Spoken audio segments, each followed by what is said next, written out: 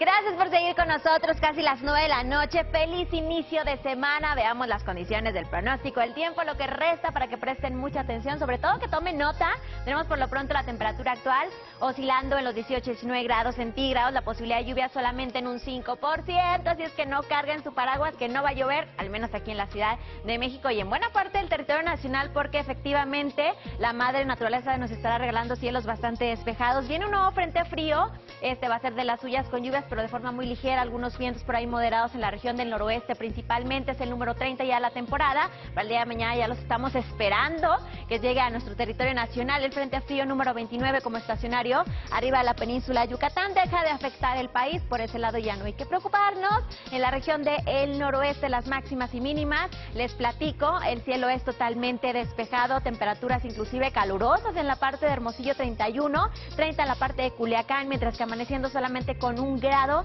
en la parte de Ciudad Juárez, pero debido a que sale el sol nos calienta rico. Por allá. 20, 21 grados la máxima, 22 en la parte de Chihuahua, 23 en la parte de Durango. Mientras que en Tijuana un poco de nubes con la máxima en los 21 grados centígrados. Vamos a vigilar la región del noreste, estamos esperando cielos también totalmente despejados, incremento importante en las temperaturas, pero ojo, viene este nuevo frente frío, viene un cambio para la mitad de esta semana. Mientras tanto disfruten que mañana tendrán en Monterrey 24 grados, 23 en Zacatecas, 24 en San Luis Potosí, igual que la parte de Saltillo, las playas del Pacífico, excelentes condiciones de cielo, Aguascalientes 23, 26 Guadalajara, otras playas nos vamos con Acapulco Guerrero, estamos esperando la máxima temperatura en los 29, 32 en la parte de Ixtapa, mientras que 22 en Toluca, amaneciendo solamente con 3 grados centígrados. Abriríamos muy bien por ahí en la mañana en la parte de Toluca, mientras que aquí en la Ciudad de México 23 grados sureste. Mucho sol, península de Yucatán, estamos esperando de todo, un poquito de nubes, un poquito de sol y un poquito de posibilidad de precipitación con las máximas, eso sí,